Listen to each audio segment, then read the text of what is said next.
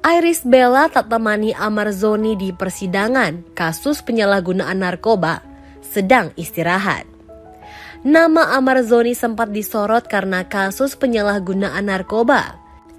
Jelas saja, kabar ini disorot mengingat bahwa ini bukan pertama kalinya Amarzoni ditangkap atas kasus serupa. Pada 2017 lalu, Amarzoni sempat ditangkap atas kasus penyalahgunaan narkoba. Baik pada kasus pertama dan kedua, Amarzoni menjalani rehabilitasi.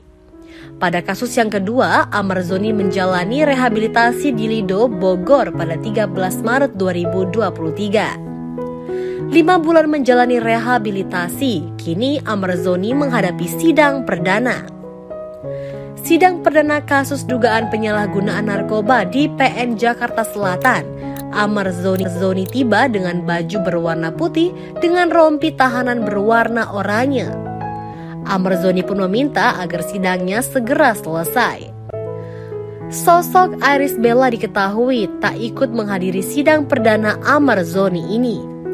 Dalam sidang perdana, Iris Bella memilih untuk beristirahat di rumah.